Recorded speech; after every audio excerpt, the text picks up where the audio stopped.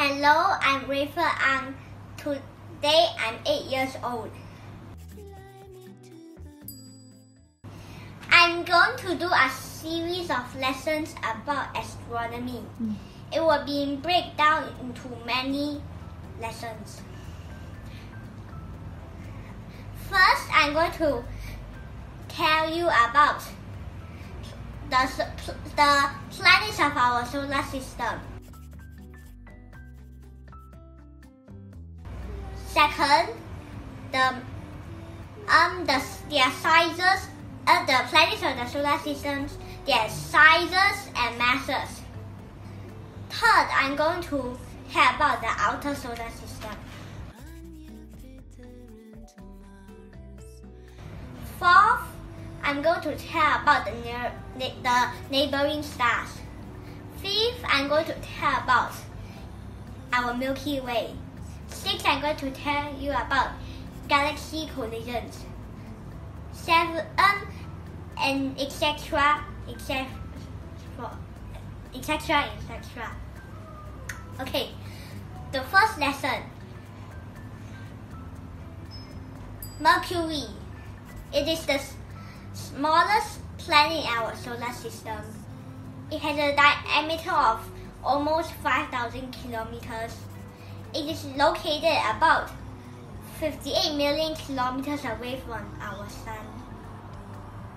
But it's not the hottest planet in our solar system. Second, Venus. It is the hottest planet in our solar system because, an, because of its thick atmosphere that traps heat. It orbits at around 108 million kilometers away from the sun. Third, Earth. This is our home planet. It's the plan it's the only planet in our solar system that is known to have life. It orbits at a distance of about 150 million kilometers. Its average temperature is 15 degrees Celsius. Fourth, Mars. The red planet. It is about half the size of Earth. Um, it has a very thin atmosphere, but it's mainly composed of carbon dioxide. Um, fifth, Jupiter. It is the largest planet in our solar system. It has no surface, a solid surface because that it is nearly is made of nearly 100% gas. It is located about 780 million kilometers away from the Sun. 6. Saturn. The planet which has the most amazing rings. It has about 82 moons, more than Jupiter's 79. Its rings extend out to 272,000 kilometers away from the planet's center.